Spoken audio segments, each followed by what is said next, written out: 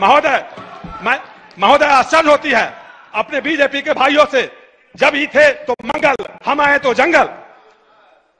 चमन को सींचने में पतिया कुछ झड़ गई होगी, यही इल्ज़ाम है मुझ पर। मगर सींचने में जिसने चमन को पैरों तले रौदा, वही चमन की रहनुमाई का राग लाते हैं। महोदय, शायर इकबाल शायर इकबाल अपने एक शहर में लिखा है, रजीलों की रजालत से शरीफों की शराफत कम नहीं होती। रजीलों की रजालत से शरीफों की शराफत कम नहीं होती। सोने करो सोने के सौ टुकड़े, कीमत कम नहीं होती। महोदय, सोना का, सोना सोना होता है। चाहे उसको कभी भरी में बेचा जाए या तोला रती में, उसका कीमत कम नहीं होता है। महोदय, तेजस्वी जी, वह सोना का टुकड़ा है, जिसको जितना तपाओगे, उतना चमकेगा। कभी दिन ने कभी दिन ने लिखा है, अपने रस, अपने काव्य रश्मि में मेहंदी जब सहती है, प्रहार, बनती ललनाओं का श्रृंगार, जब फूल पिरोए जाते हैं हम उसको गले लगाते हैं। बसभा का नेता कौन हुआ?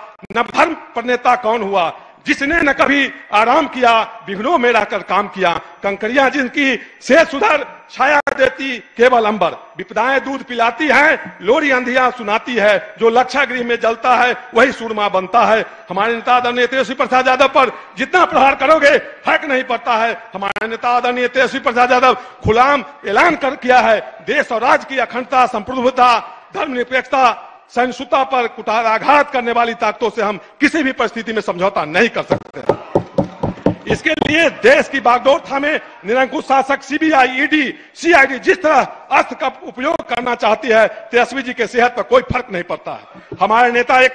हमारे नेता हम लोग के बीच हमेशा कहते हैं शायर इकबाल के उस शहर को याद कराते रहते हैं, सारे जहाँ से अच्छा हिंदुस्तान हमारा, हम बुलबुले हैं उनकी, गुलसिता हमारा हमारा मज़हब नहीं सिखाता, आपस में बैर रखना। हम हिंदी है, हम वतन हिंदुस्तान हमारा।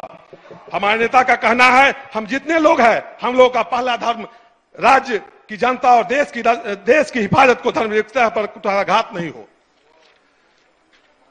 मानवर हम